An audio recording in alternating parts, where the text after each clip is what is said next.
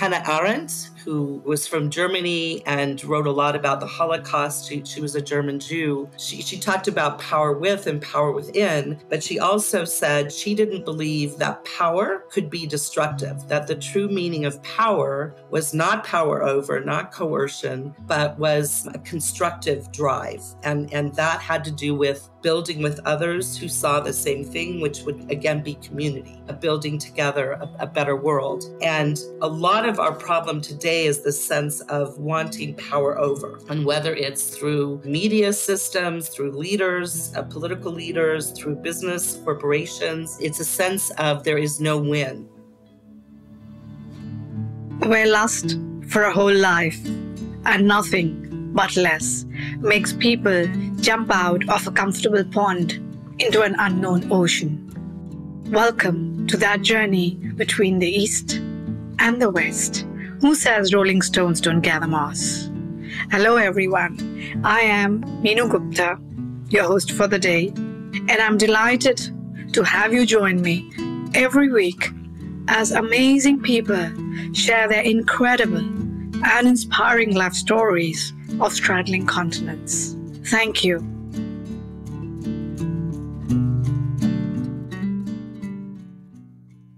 A burning passion. What can that do? A lot, as we all know, depending upon the direction it flows. And what does passion, in more than 150 activists across 85 countries and four continents, do? It becomes a binding glue to bring about peace and justice in many parts of our globe or our Mother Earth. But can it really solve the multiple conflicts across the world? As the year 2024 began, the headlines of International Crisis Group site were the following Can we stop things from falling apart? 2024 begins with wars burning in Gaza, Sudan, and Ukraine, and peacemaking in crisis. Worldwide, diplomatic efforts to end fighting are failing. More leaders are pursuing their ends militarily. More believe they can get away with it. Now, war has been on the rise since about 2012 after a decline in the 90s and early 2000s. First came conflicts in Libya, Syria, and Yemen, triggered by the 2011 Arab uprisings, and then they mapped out their own worlds like an uncontrollable shifting cloud. The past few months' ghastly turn in Israel Palestine is perhaps the trend's starkest illustration, notwithstanding the conflicts in Sudan, Ukraine, Ethiopia, and, and, and.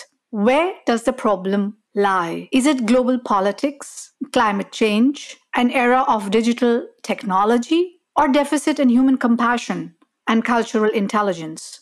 Perhaps my guest for today, Katherine Hughes Can throw some light on these questions, which I'm sure have dotted her life. Katherine is an expert on peace building and social justice. She is one of the three co founders and executive director of Solidarity 2020 and Beyond, an international network of grassroots peace builders, activists, journalists, and scholars in 85 plus countries working on over 100 plus movements across the globe. She sits on multiple boards across continents and is the go to person for these global issues. She was previously the executive director of Peace Brigade International USA for several years. Having traveled across more than 75 countries, she's definitely gathered enough moss to share some with us today. Thank you, Katherine, for joining me. I see that you've been in the peace building sector or the related sector, so to say, from the time of your education in Texas. So, the first question I could think of was how did that happen? Did you choose the field or it chose you or what happened? Because I'm sure that was not so usual, a usual sector picked up by most of your peers. So just do take us through that journey because that will show from where it began and how it panned out. Thank you, Meenu. That's um, a really beautiful introduction and framing. I think the main thing is you're right. I grew up in Albuquerque, New Mexico. Born in Colorado, and I didn't travel internationally until after college. I always had an extreme kind of curiosity about the world, about other people and other cultures. And I think the main person in my life that really directed me and served as my mentor was my father. His name is Herb Hughes, and he grew up in New Mexico. He ended up doing a lot of things both locally and statewide as a community leader, uh, a statesman. I wouldn't really necessarily say a politician, but he was a city councilor, state banking director, and a number of different positions where he wanted to help shape policy and give back to the community. And I grew up with him at age five. I was helping him run for elections and we would go together to doors and I would knock on doors and say, I'm Katherine and my dad is running for mayor and I'd like for you to support him. And even at that age, I knew how to kind of engage people and all of our talks around the kitchen table. My mom also was very involved in community work and we would talk about these things about the world, about justice, about fairness. My dad said, told me again and again, no matter what, everyone is of equal value. There's no one below us and no one above us. And he was actually very good friends in his office buildings with people that cleaned the office that were were everyday workers. And he really felt a connection and honored them and they really honored him. He was known to be one of the most honest people that there are. Even the other day i met some people at a university here who said, Oh, yeah, we remember your dad. And he was always cared about others and the community and reached across the aisle, which was really beautiful, also. There's a lot of stories. So I, I think I learned my sense of justice fairness. He was also my tennis coach. I played tennis in uh, high school and into college, and we played as a family. But it wasn't about winning, it was always just doing my best and trying to, yeah, trying to model for others excellence, trying hard, doing your best, but also being a, a good loser at the same time when you didn't win. So I think my dad is really responsible for me being involved in community work, wanting to be a peace builder, uh, but also peace with justice. So, not just about a lack of violence, but the really positive peace, which means you've got to have justice before you can have peace, or it doesn't hold. So, you are taking that legacy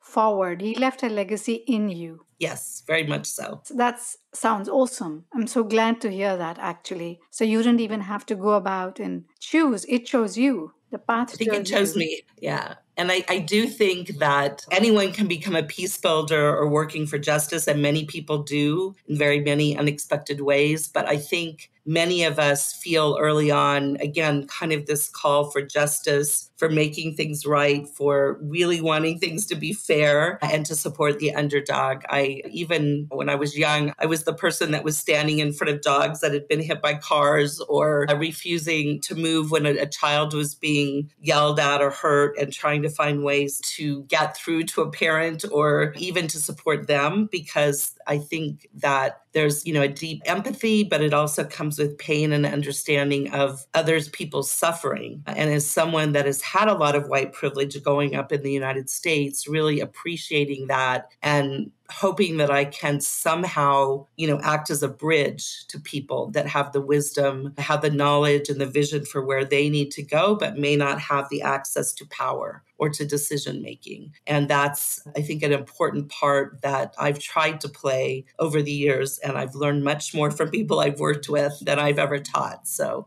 I'm very appreciative to them. You mentioned that you grew up primarily, the first part, your basic education was in Mexico, right? It was in New Mexico. So the state next to Texas and Arizona. It, it's a really large state, but it's it's less known, I think, than other states. So Ah, okay. Because then I was thinking of go Mexican. I was thinking of that great the divide. One thinks of that great divide. Oh. Yeah, and we talk about it here because if you look at maps over the years, really the U.S. crossed Mexico rather than the other way around. So many people that live here were here from. There's a lot of Native community. It's actually the largest number of tribes and Native community I think in the country. I think I don't know up to ten to fifteen percent maybe of the population tradition. And it's also, there were many Hispanic settlers that came early on, right after 1492, and Columbus that came both up from Mexico and then over time also came in through Florida. So we have a lot of very old traditional families, both in the Native Americans as well as, you know, Hispanic Americans, and now uh, what would be called Latinx or, or Chicanos who are mixed with the natives. And so it's a beautiful culture here. That's something I love about it. It may feel more like Mexico than the US.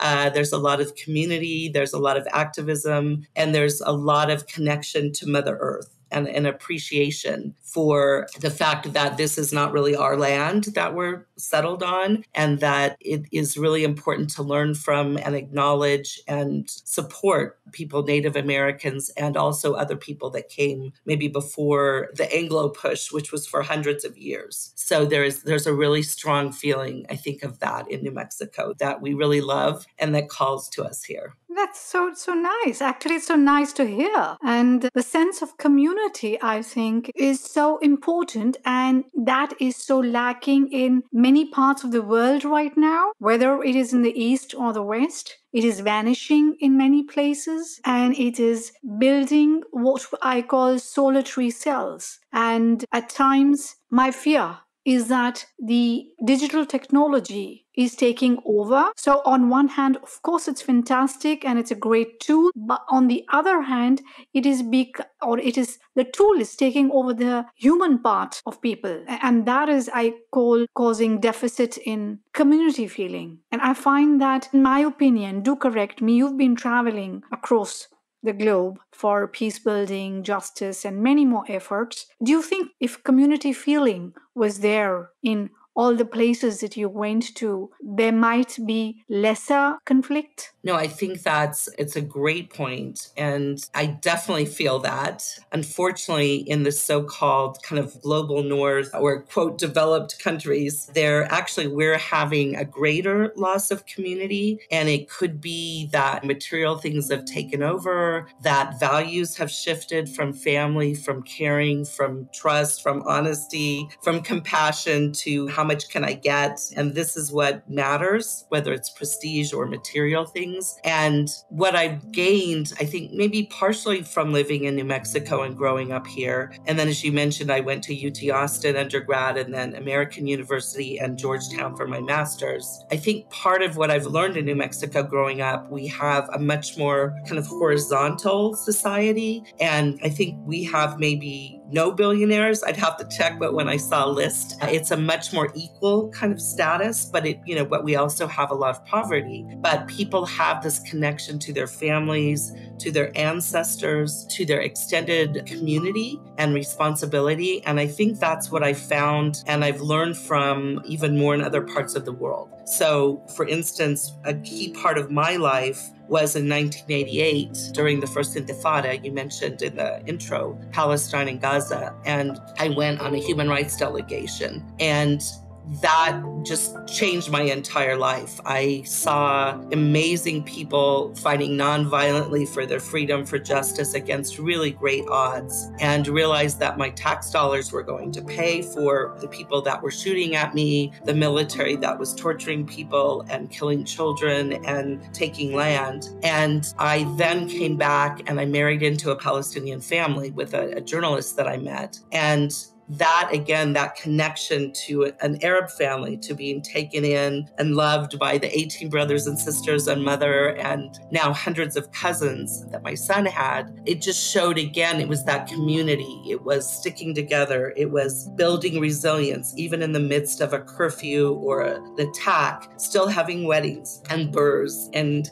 celebrations and really holding on to the joy of life. And I found that in every place I've been in Africa, extensively on the ground, in Southeast Asia, in South Asia, where you're from, or India and Pakistan, Nepal, Sri Lanka, that I've uh, worked in pretty extensively, and in Latin America. And I feel like that is something that my choice to work with grassroots activists, to work with people really on the ground, on the front lines, has been because that's where I see this strong sense of community and responsibility for each other and supporting each other in rough times and not you know, being focused on the material things, but around love and compassion and building much more solid and connected communities. And so for me, you mentioned community, that is a huge hope that I have. It's a huge inspiration for how we can fix this very damaged world right now, including in the fields of women's rights and justice and climate crisis and so many other kinds of oppression that we're facing right now. That was actually very explanatory, and thank you for saying all that because I was going to ask you. So, a bit of it I got. What constitutes a sense of community? So, I would, again, I'm learning, I'm still always learning and being taught, but I would say first a connection to the land, to the place, to the traditions and cultures and rituals that give people strength and direction. I think a connection to community in through your ancestors. So this idea in the US or in the Americas, you know, seven generations back through the natives. And it was very important to look then seven generations ahead and say, what are we doing? What are our decisions? And will they harm or hurt those seven generations? Feeling that we have the energy and the knowledge and learning from our ancestors and the past, but also having a very strong sense of being in the moment, of joy, of, as I said, connection and empathy. But I think it's also a sense of, of major responsibility to other family members, to your elders, to people that are maybe different from you in your community, whether it's religion or ethnicity or race or whatever it is, feeling respect for others as human beings and as Mother Earth and as part of the creation. And I think that makes such a difference when you're looking at how you prioritize budgets locally or nationally, whether you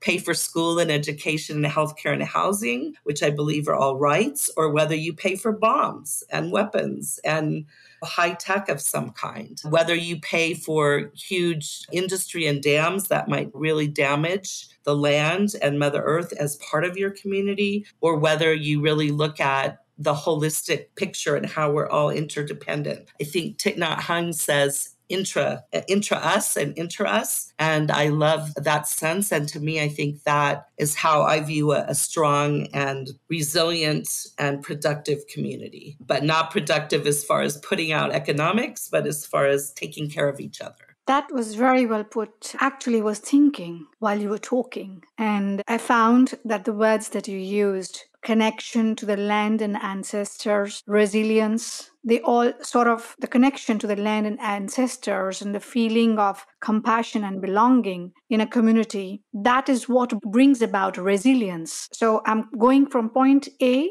to point B. So, having said that, these are the factors which would contribute to a resilient community. And when we say resilient, we would also talk of sustainable livelihoods and all the factors would automatically be there. So just go with my thought. I'm just following yours and I'm taking up from there. I found it lovely because there are immense challenges in every country, different challenges specific to a country. However, if all the world leaders focused on community building, not pitting one against the other, making it more compassionate, whole and you as you rightly said automatically the thought of for example proper insurances and economic progress automatically those thoughts would follow how to build resilient communities. If that was the main agenda on the table, do you think there might be lesser conflicts? Oh, certainly. And I think that's a really beautiful framing or way to put it. Peace building, again, I believe, has to be what we would call positive peace or peace with justice. So I think a huge part of leadership and good leadership at, at the international level, the national level, the, the local level,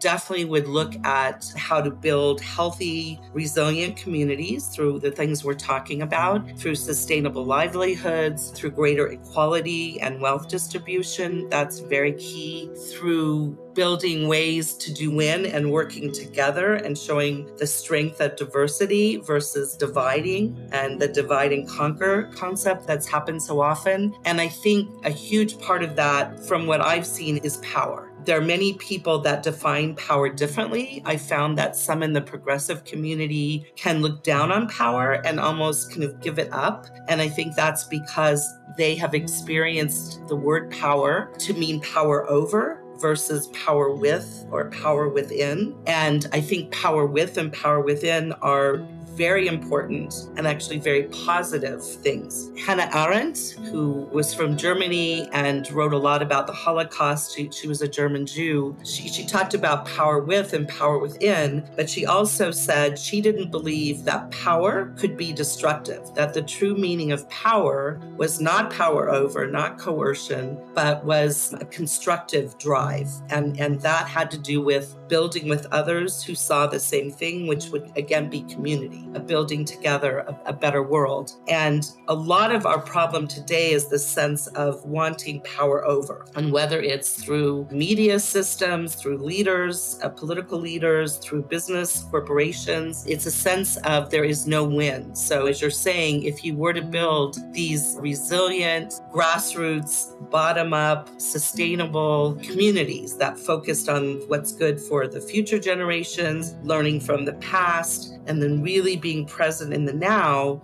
there would be a much more sense of we have power together the real power. And what I found is to be the key challenge for us is to try to find ways to right that power, to equalize the power of people in the world, both monetarily, politically, you know, many, many ways. And again, against ethnicity or discriminations for your religion or if you're a minority, to really find ways to equalize that power but also to convince those people that have power over and are using it in a really negative, destructive way that it's also not good for them. They're not usually very happy people. Their families are also at risk, whether it's climate change or other kinds of war or violence. Uh, they can be targeted. And so, really getting a sense of not to be afraid to share power to build and empower others because in the end i think that does end and works toward a sustainable healthy society and communities and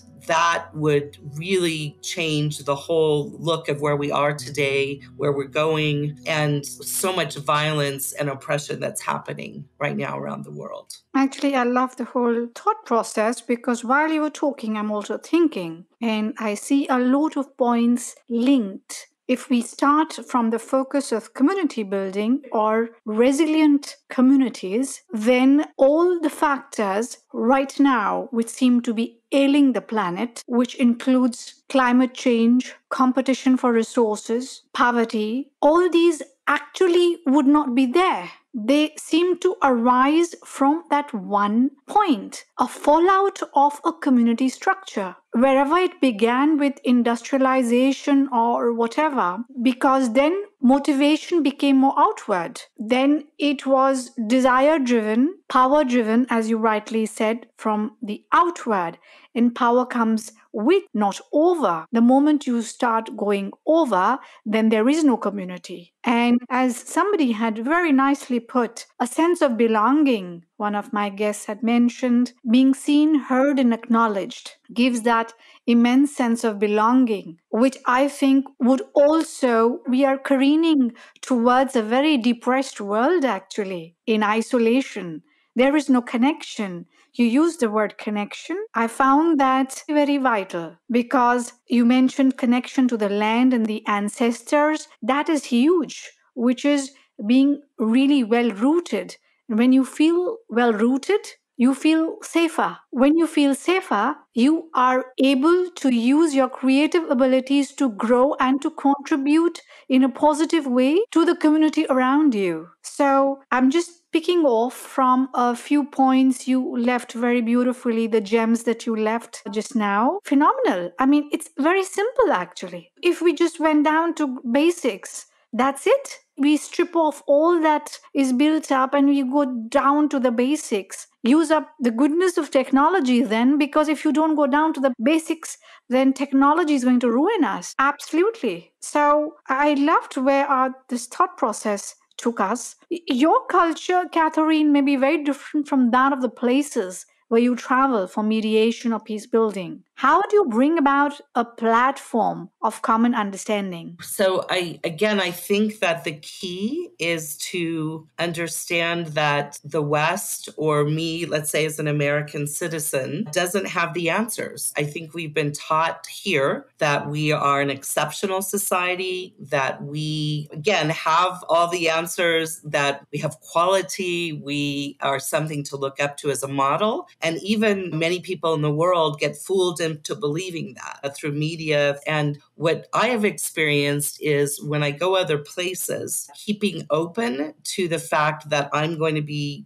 taught much more than I'll be teaching, that I have valuable things to teach, mainly because I'm using what I've gathered over many different spaces like a web, and I'm connecting and I'm passing on those pieces of wisdom and knowledge and skills and understanding that others have taught me. So I'm passing them on, and that's really where my ability to teach others or provide ideas and knowledge comes from, not from where I am, but from kind of the composite of what I've learned and what people have shared with me and what they have taught me. When I'm open, when I come with a sense of wanting to learn and share, when I'm coming with a sense of common humanity that we all have families that we want to be happy, we want to grow, we want to be secure. And I think when you mentioned the sense of belonging, I would also say the sense of dignity that people say are much more important sometimes than even, you know, freedoms and again, material equality, that dignity is so key in their societies. Many in the Arab uprising kept talking about dignity. Many of the ongoing movements around the world, that is a key thing that they're standing for and looking for. So, as long as I respect and am open to learning, I have found an extreme acceptance, extreme sharing. Most of the people in Solidarity 2020 and beyond, you mentioned 80 countries, over 100 movements. Now we have over 200 highly skilled and seasoned and knowledgeable activists and organizers and peace buildings, peace builders that are leading these movements and campaign. And we have an extreme connection. We feel very much like a family. People will say that again and again, that we can be sad together and go through grief together, which happens every day. There are people being arrested or tortured or pushed off their land or they're running for their lives. They're becoming refugees. Again, Sudan, this has been happening a lot. All over Southeast Asia, we have people running from Burma and Myanmar. From the DRC is really a lot of violence right now. Uh, you mentioned Ethiopia, Gaza, Palestine. There's so many places. And we have come together as a family. We share the pain, but we also prop each other up and celebrate when someone gets a great scholarship or a fellowship or has a great win that they've had within their movement or their campaigns in their community for change. And I've, I've never really felt like a stranger anywhere. Sometimes, if anything, it's when I return home to the US and I have much more culture shock going backwards because, again, of this idea of sterilization and materialization and the values that really are not mine. And it's not that we all across the US, there are wonderful people doing wonderful things and trying to change things for the better. But I find in other places in the world that I have a more shared values, believing again in justice with peace and dignity. We share common beliefs for the future, common areas of work together, of our struggle. And yeah, and I, I just feel like I never, I mean, I've always felt welcomed and loved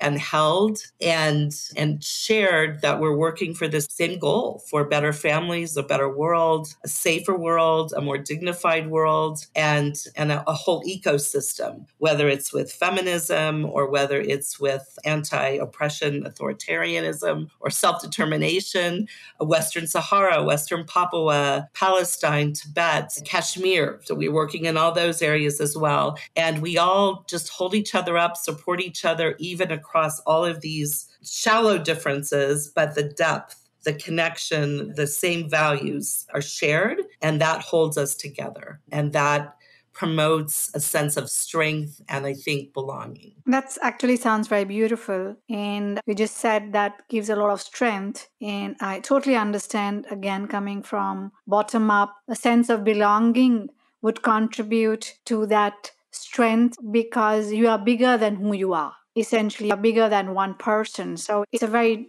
different feeling, I'm sure. It's a huge family feeling. Somebody has my back, and not there's not just somebody. There are many buddies who have your back kind of feeling. Uh, that's actually the visualization of that is already feels very good, actually.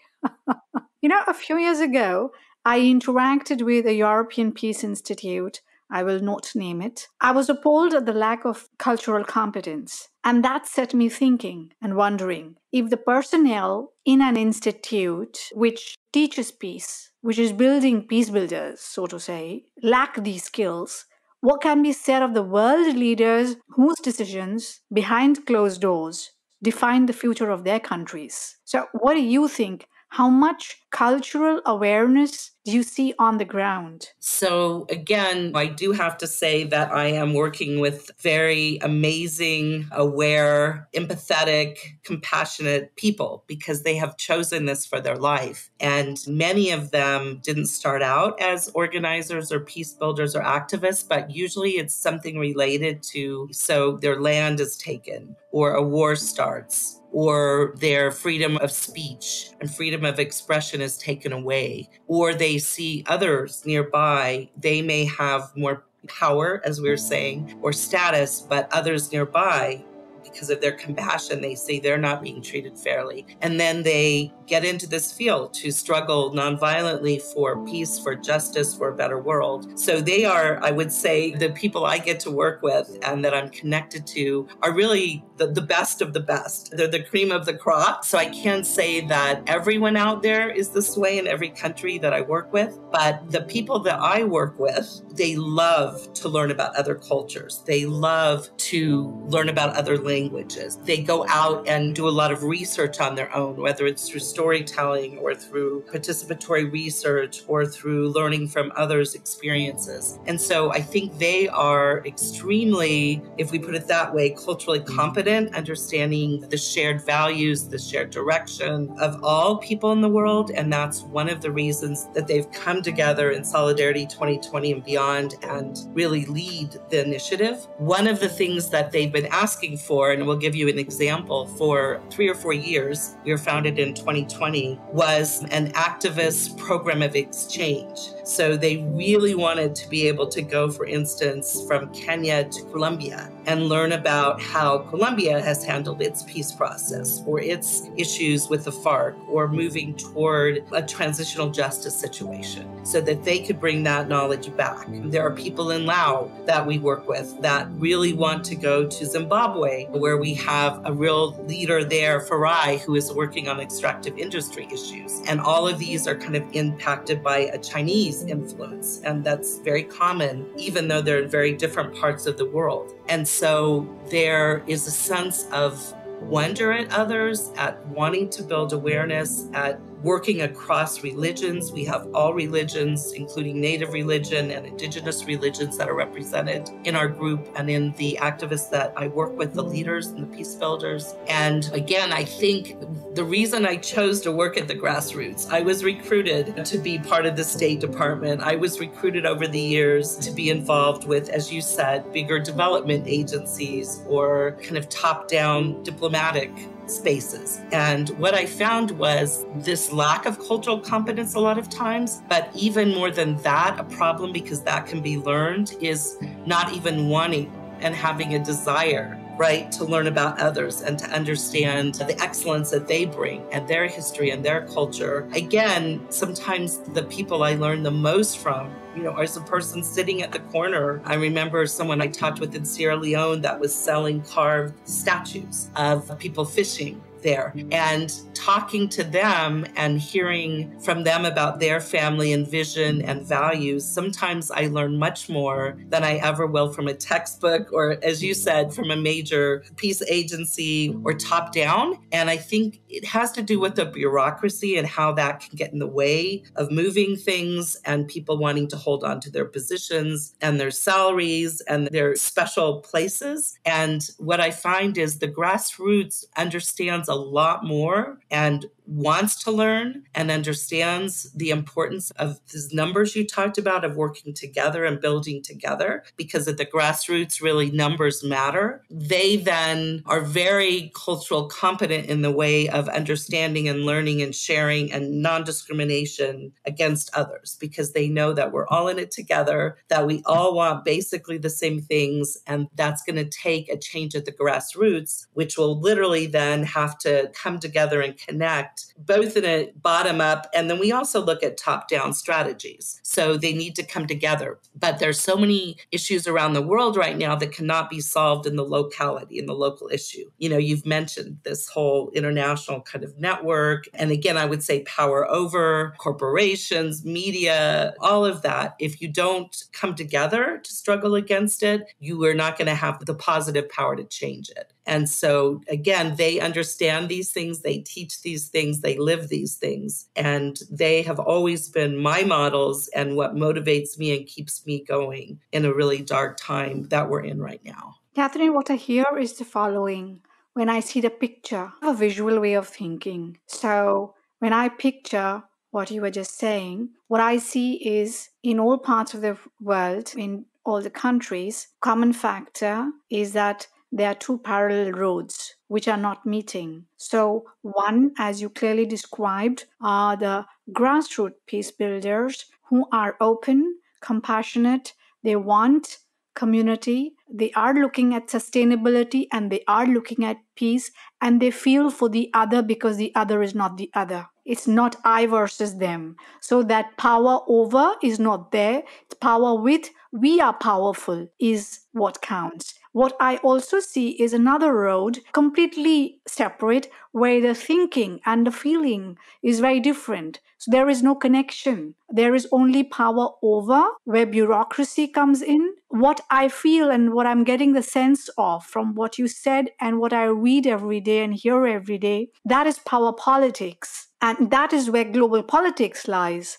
So that is one road. And there's another road. Now, unfortunately, in most of the countries, it is like this. There are two parallel roads, which these two roads are not coming together. I'm just forming a picture from our discussion, how we are talking. And the picture is becoming very clear. So, and what I'm also understanding, okay, which of these two roads would be better for the earth and her people? And I automatically choose this first road, where we are talking of compassion, community, no borders, people who are not looking at where you also said you learn more, people wanting to learn more and not saying, oh, my way is the right way or the highway. And while the other side is saying, my way is the right way. So, how? Now, you've been in the field, you've been around for that many years across continents. What I just said, does it make sense? Oh, yeah. I mean, it definitely makes sense. And I think the big challenge then is to figure out how to merge the two, how to, to build from the grassroots and model. And I hate the word really scale up because I don't think everything needs to be scaled up or works through scaling up. But I do think that it's important to share models and be able to learn from what has worked or what hasn't worked. And I'm picturing what you're saying. It's the idea of conflict transformation. So it's the idea of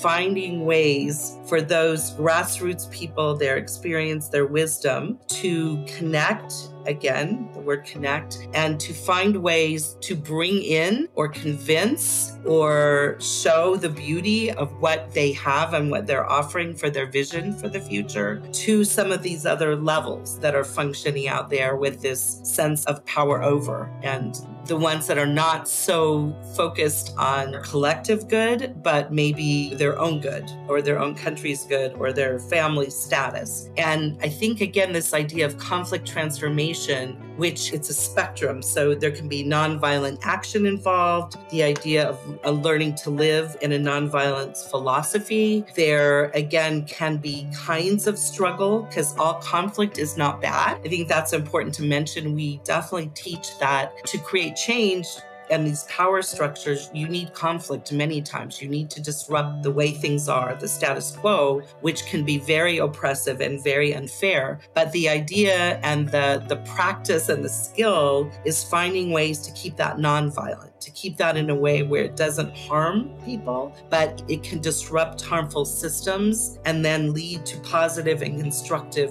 systems. And again, we're, we're looking at a more horizontal system that we would like to create. And you mentioned kind of these two parallels. So if you do have a more horizontal system, how do you find ways that you ask and you gather and you find ways to build alliances and build the numbers and kind of encompass and include these other kinds of groups as you're growing and as you're shaping the world? And that takes, I think, a lot of understanding, a lot of understanding of nonviolent communication and dialogue and mediation can be very important, which are very important peace building skills, conflict resolution, but not, again, shying away from important conflict to disrupt unjust systems and laws and rules. What many people have called the good trouble, making good trouble. And so, yeah, and so that's what I would see is that the, the grassroots can't do it all they need other parts of the society. They need those parallel groups that may have more access to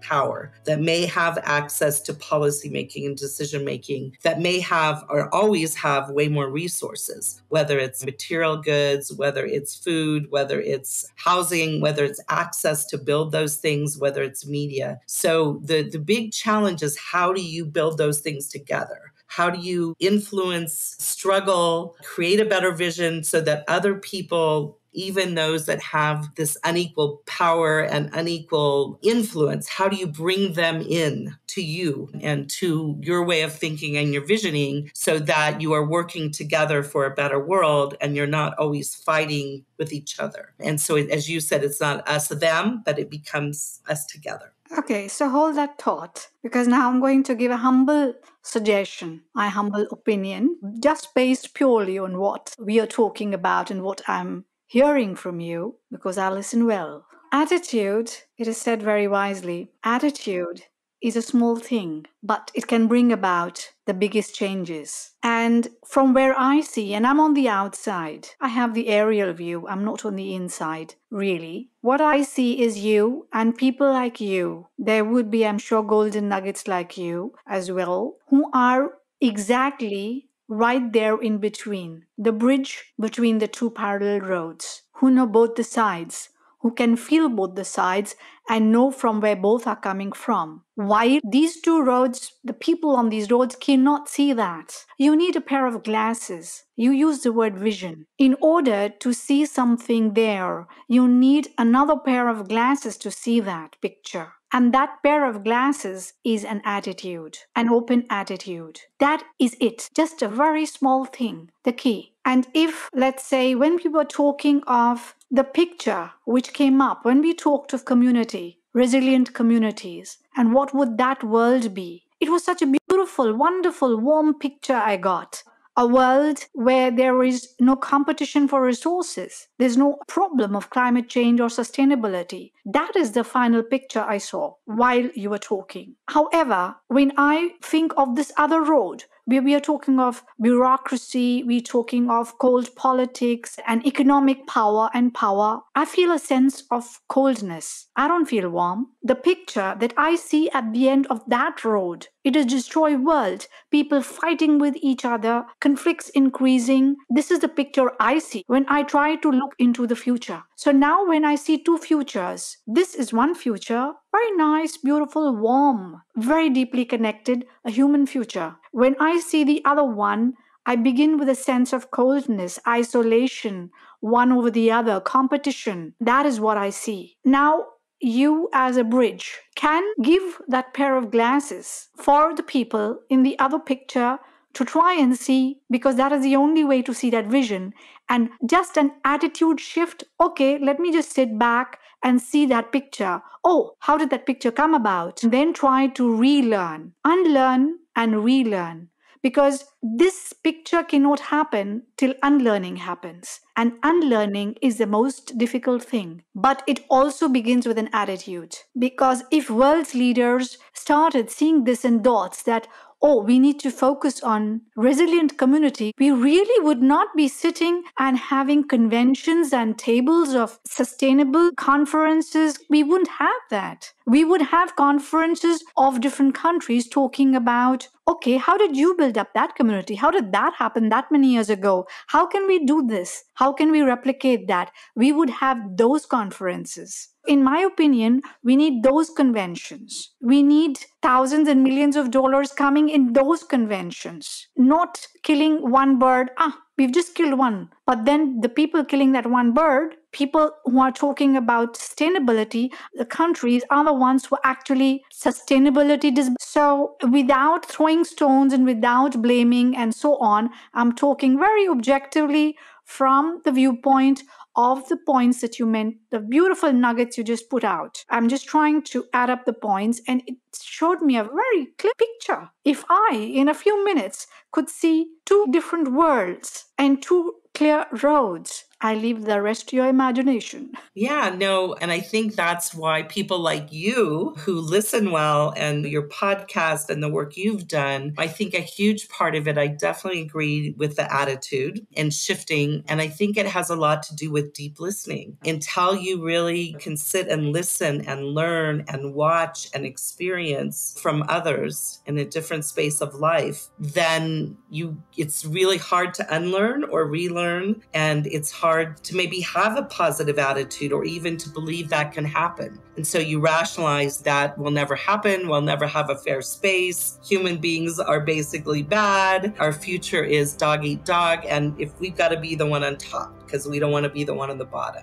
And if you can deeply listen to people and walk with them and share with them their family, their traditions, their rituals, I think that is what makes it possible to understand that no, that I believe humans have both great joy and brilliance and sacrifice in them for the good. And then we also have the dark side. And as you said, it's kind of where our attitude sits. It's where we put our energy into this positive vision and work and hope, even in darkest times, versus thinking it's all lost and we're bad and we have to just climb on top and find the best way to do that. And so I think, again, that's the other part of the grassroots is I've lived with people all over the world. When I go places, I rarely stay in hotels as a trainer or as a policymaker or a peace builder. I much would rather prefer to sleep on the floor in a refugee camp in Gaza and eat with people and learn from them, which I've done many times before the ongoing genocide that's happening right now, which is horrendous. I have shared in Cameroon with trying to drive from one place to the other in an Anglophone side that has extremely poor resources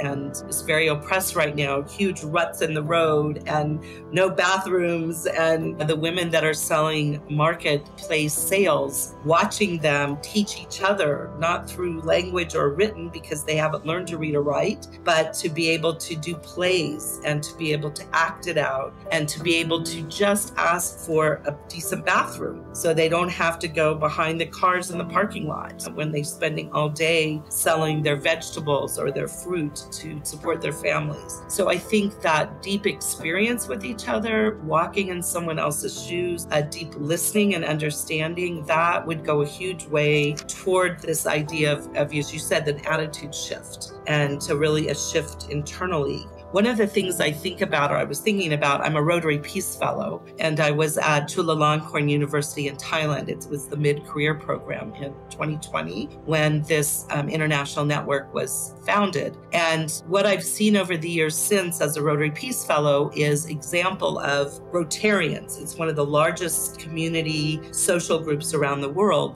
And most of them, not all of them, are very well off, well placed, have this kind of power over in the society, are business people, are leaders in their communities. And what I've seen from them is that they very much are trying to learn from others, are trying to, while they're giving their funds and their resources, which is what I'm also trying to bridge to get some of these important funds and resources to areas that need them. Right now, we're working on a big grant for Kenya that empowers women, uh, and it's called Seek Africa. We're almost done with, with that and getting it approved. And then in Nepal, we're starting to work on one for disability rights and people that were injured during the earthquake in 2014, but also have been born hard of hearing, without sight, who are in wheelchairs, and who are very much discriminated against in their society in various ways. So the Rotarians, that's a place I can see Rotary Peace Fellows, many of us who are part of the alumni, trying to bridge this situation where they are giving humanitarian aid, are giving funds that are very much needed and appreciated. But they also, at the same time, many of them are wanting to learn, are wanting to go to these places, visit, get to know the people they're working with, not just giving a handout.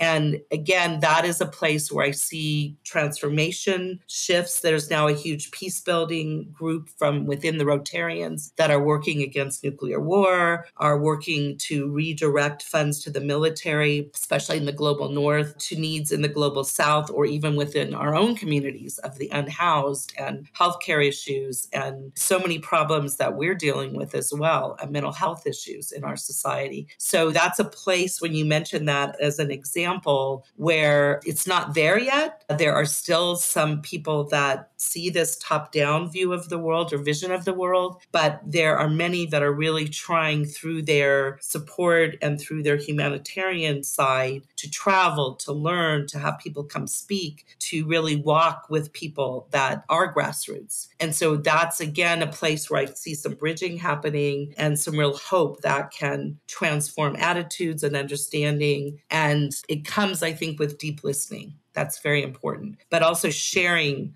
being willing to share the risks, being willing to share some of the hardships uh, and the sacrifices that these amazing grassroots leaders are exhibiting and are teaching people. You know, to carry that forward, if I had to have a visual, the axis on which the earth is rotating right now, attitude would shift that axis and you would have a different world. But coming down to something else which occurred to me while you were talking, when mm-hmm. you married into a Palestinian family, a sense of community, Palestinian family, etc., the issue, what is going on, that has been going on for many years. And now it is at a different level of escalation, must be very close to you on the Gaza Strip, whatever is happening. And that, dear listeners, is the first part of my animated conversation with Katherine. For the reality in the Gaza Strip and the horrors unfolding there, as well as possible solutions, do tune in to the next episode. Thank you for listening to the series between the East and the West. Do subscribe to the channels mentioned on the site in case, of course, you liked what you heard I am Meenu Gupta, the host of the series, and I'll be looking forward to your comments. We love feedback. Thank you once again. Namaste and bye bye.